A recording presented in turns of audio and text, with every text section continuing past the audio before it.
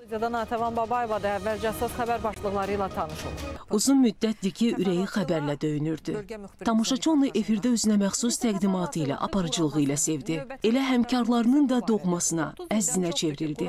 Biz bu gün Vətən müharibəsindəki zəfərdən fəxrlə, fəxarətlə danışırıq. Çünki 30 illik torpaq həsrətinə 44 gündə son qoymaq hər xalqa, hər orduya nəsib olmur. Məşhur teleaparıcı təəssüf ki, gənc yaşında ağır xəstəliyə düçar oldu.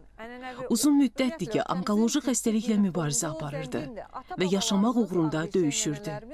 Lakin o bu döyüşdən bu gün qalib çıxa bilmədi. Türkiyəyə müalicə üçün gedən teleaparıcı gecə saatlarında vətənə qayıtdı. Bir neçə dəqiqə öncə isə həyatla vidalaşdı. Allah bütün şəhidlərimizə rəhmət eləsin. Düşmən üzərində qələbəni asanlıqla əldə etmədik. Şəhid də verdik. Vətən yolunda sağlamlığını itirənlər də oldu. Allah səni rəhmət eləsin.